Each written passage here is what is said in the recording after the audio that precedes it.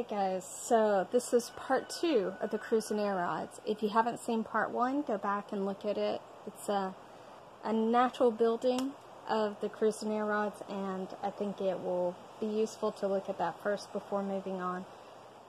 So, um, when you are making rods of the same color over and over, and you are writing things down, um, so this would be purple plus purple plus purple plus purple. Eventually, you or your child are going to get tired of writing plus purple.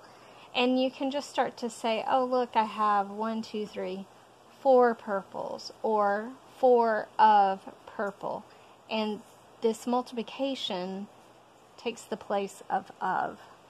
It's a quick way of counting and you can also you will start to see that we're making triangles with these. This one actually makes a square, but if we have five purple, five of purple gives us what? And then they can take these out and measure and see that 5 of purple gives us 20. Um,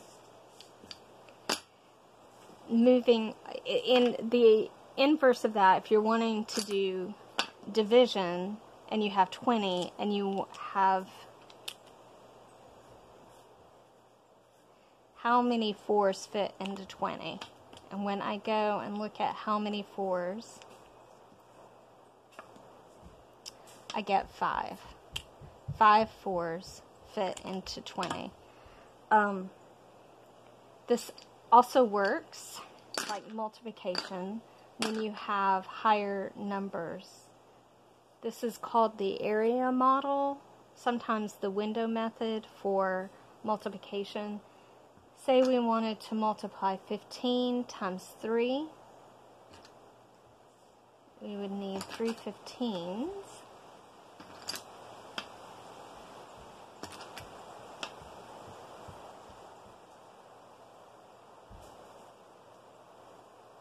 So on this side, we have 10 plus 5, or 15. On this side, we have 3.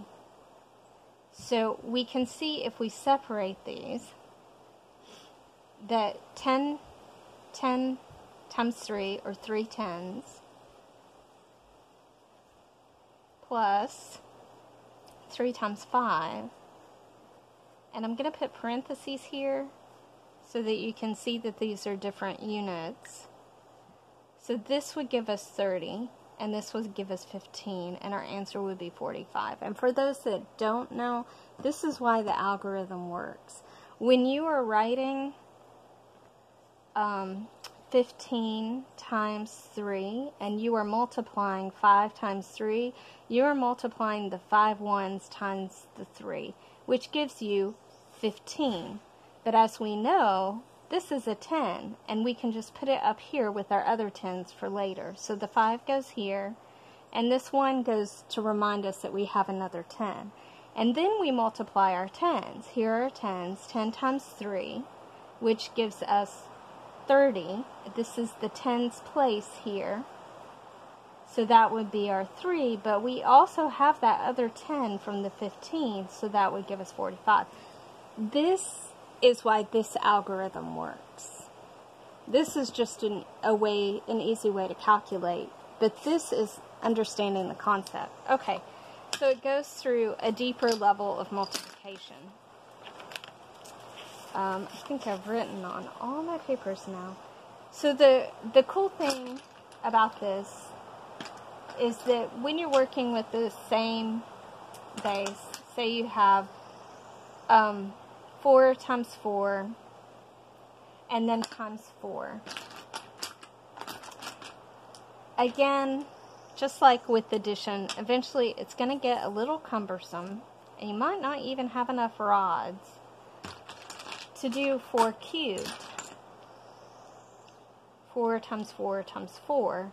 And so what Gattegno moves into doing are what's called crosses, where this now represents 4 times 4, and each time you add a layer, you're multiplying another. So 4 times 4 times 4 times 4.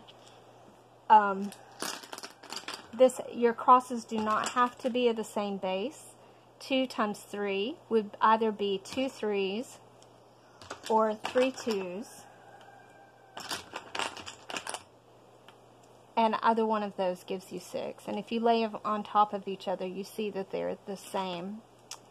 Um, but the really cool thing about this is it segues into exponents. So however many 2's you're using to multiply, that's your exponent. So this is 2 to the fourth. Well, it just happens to be 4 high. I don't know if you can see that, but um, and so what they eventually move into are what's called L's. And this means that this is four crosses. It's, it's the same as this right here. And what we find when we're working with these, that if you have um, this, which is the same as this right here, 2 to the fourth, and then you have 2 to the third, which would be represented this way right here. When we multiply these two together, our towers multiply together. So, and this is why exponents add. When you multiply exponents, why it adds. So this becomes 2 to the fourth times 2 to the third. When we add these together, is this tall tower right here, 2 to the seventh. This is called a, a log rhythm scale. So what we're able to do at this point, when we move to L's, is work with exponents, um, with multiplication and division. So if you are dividing by, let's just say 2,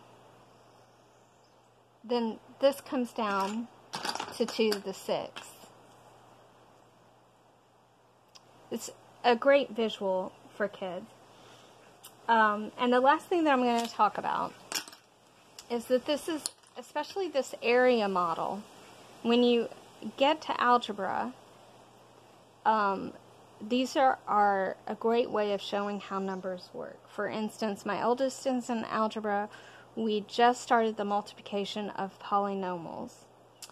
If we're working on a 10 base and we're doing multiplication, if we have two numbers that we're multiplying with a 10 in it, say we're multiplying 12 by 13. Well, our 10 by 10 is going to be 10 squared, or 100. So I need to find, I'm just going to use, make this easy on myself, and use our 10 by 10. Our 2 by 10 are going to be 20. Our 3 by 10 are going to be 30. And then our 2 by 3s are going to be 6. So 13, you see on this side I have 10 and 3, and on this side I have 10 and 2. So 12 times 13 is 156. Well, when you, that's how our 10 base system goes. When you are doing in algebra, we used these to be our x's. And in reality, these should stretch back and forth because we don't know how long they actually are. But if you are doing x plus 3 times x plus 4, then we know x plus x gives us x squared. We know x times 4 gives us 4 x's. x times 3 gives us 3 x's, and 4 times 3 gives us 12.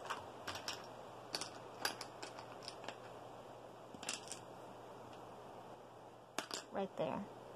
So our equation, or our expression, because it's not really an equation, um, well, it could be an equation. x plus 3 times x by 4 is, or x plus 4 is x squared plus 1, 2, 3, 4, 5, 6, 7x plus 12. And this works the opposite way when you're looking for factors of a polynomial. If I have x squared plus 7x plus 12, how can I make this into a rectangle? Anyway, these are great visuals. I hope that's helpful.